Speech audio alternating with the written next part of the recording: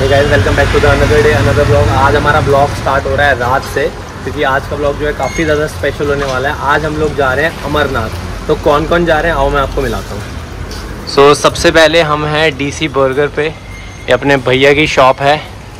यहाँ पे मिस्टर विवेक जा रहे हैं हमारे साथ अमरनाथ की यात्रा में।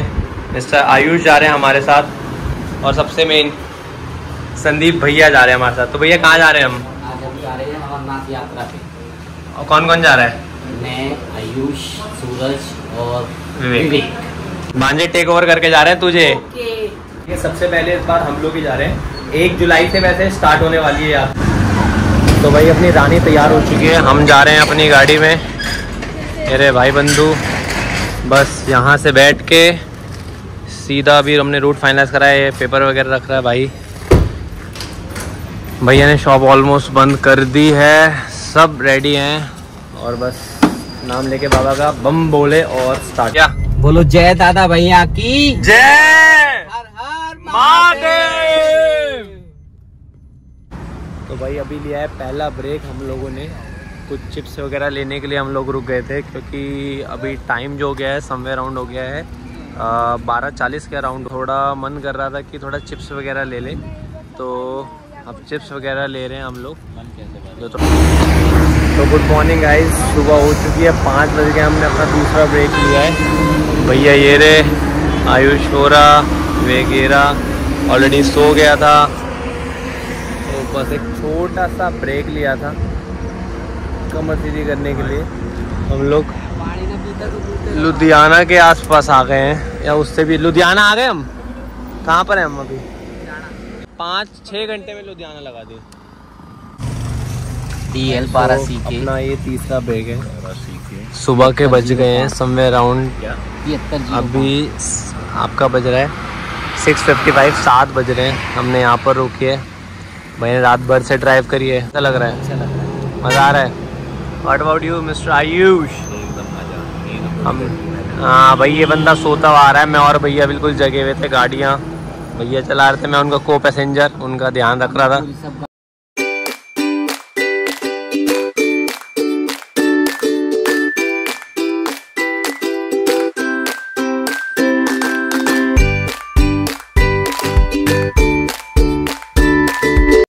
तो यहाँ से जो है अपने को पहाड़ दिखना स्टार्ट हो गए थे। उधमपुर का रोड है और रोड काफ़ी अच्छा था। हम लोग बाय रोड गए थे तो काफ़ी अच्छा हमें रोड मिला था।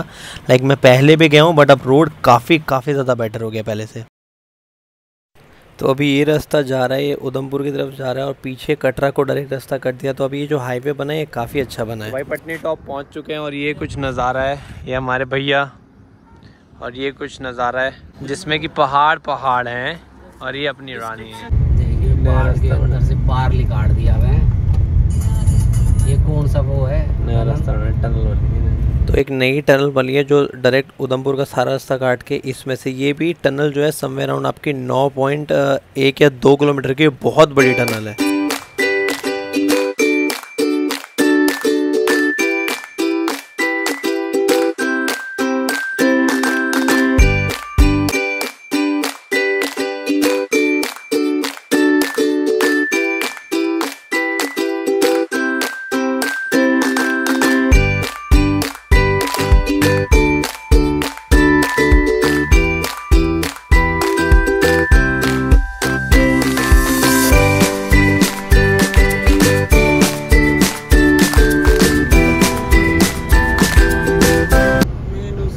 एक बार गाड़ी में उतर के एक बार खड़ा हो जाए। अरे अरे भैया, आगे करो आगे करो, बस।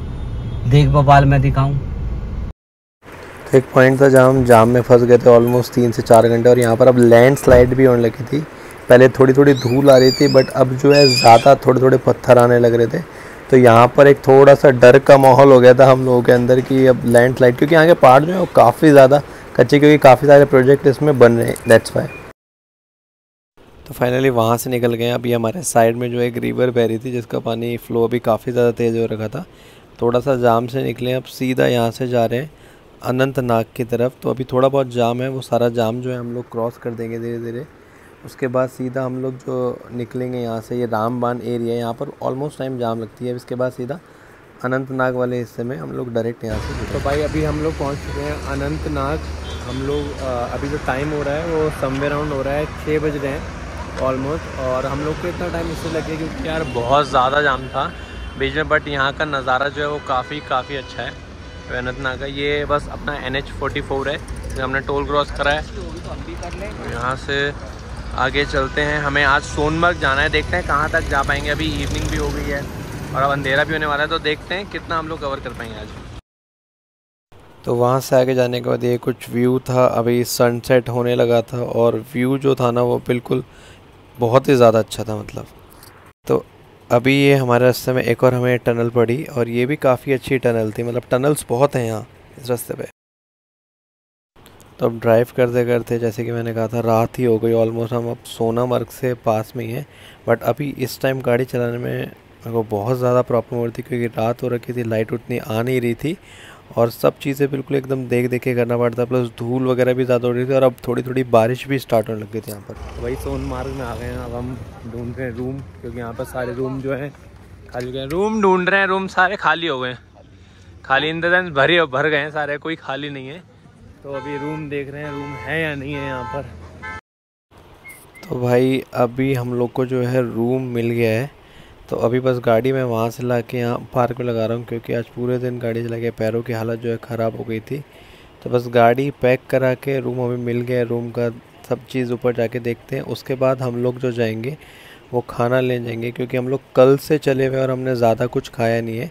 तो सारी चीज़ें जो हैं, अब हम लोग यहाँ पर आके देखेंगे और आज पूरा रेस्ट करेंगे। कल फिर अपना बेस कैंप बालताल जाके वहाँ से जो है, अपनी यात्रा जो है स्टार्ट करेंगे। वहाँ पर हमारे कैंप लगते हैं, हम लोग उनसे भी मिलेंगे। तो भाई रूम अभी मिल गया है हम लोग को। हम लोग ने रूम ले लिया अभी हम लोग खाना लेने जा रहे हैं। जब से चले थे, कल रात ग्यारह बजे चले थे, कुछ ज़्यादा खाया नहीं है क्योंकि हमें टाइम से यहाँ पर पहुँचना था। अभी अभी हम लोग सोनमर्ग पहुँचे और रूम वगैरह ले लिए खाना पैक कराते हैं उसके बाद डायरेक्ट वहाँ पे रूम टूर भी मैं आपको दूँगा बताऊँगा कितने का मिला है और सारी चीज़ें। वैसे कैसा लग रहा है आपको मिस्टर आयुष? टायर्ड है बट कर लेंगे। कल करना है यात्रा कल यात्रा करने में सबसे पहले से इतना हमारा ही जाएगा। तो होप्स हो कि काफ़ी अच्छे से हो और अब अच्छे से